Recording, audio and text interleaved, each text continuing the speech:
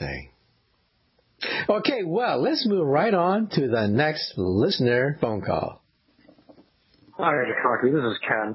I'm calling to ask if um, it's possible to have more than two time dimensions. I know that time can move perpendicular to each other.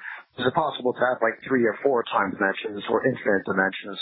Or if there are any other kinds of like um, like uh, elements of uh, the cosmos beyond space or time or space time? Thank you for your time. Well, at first that question sounds weird, preposterous, and stupid. Actually, it's a subject of intense debate among theoretical physicists. You see, string theory, which is the leading theory for the theory of everything, has nine spatial dimensions, dimensions that you can move in, and one time dimension. Okay, you got that? Nine plus one equals ten. That's string theory. However, at Harvard, we have another group that says that if you allow for two times, not one, but two times, then the theory becomes even prettier and even more elegant in 12 dimensional hyperspace. So the mind starts to boggle at that point. What would a two time universe look like? Well, once I saw a movie on one of these old uh, movie stations, and David Niven, the British actor, got shot down over the Atlantic, and he went to heaven. However, in heaven, when uh, St. Peter began to write down what we knew about this guy, heaven found out it made a mistake. He wasn't supposed to die. Well, we'll talk about that after the break. Once again, you are listening to Science Fantastic with Professor. Well, before the break, we had a call concerning dark energy, so let me explain really quick.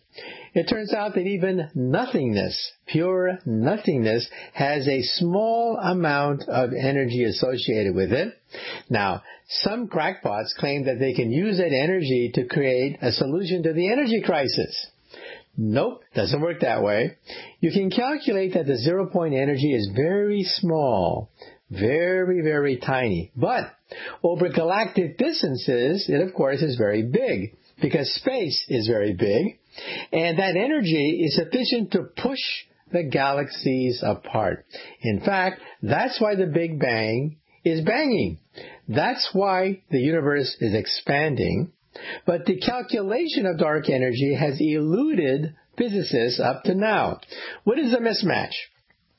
The mismatch between theory and experiment is 10 to the 120. Now take out a sheet of paper, write down the number 1, and then write 120 zeros after that 1. That's the mismatch between theory and experiment. Now, that's embarrassing. I mean, this is the biggest embarrassment in all of science. The biggest mismatch in all of science is 10 to the 120, one with 120 zeros after it, the mismatch between the experimental value of dark energy and the theoretical value of dark energy. So what are you going to do?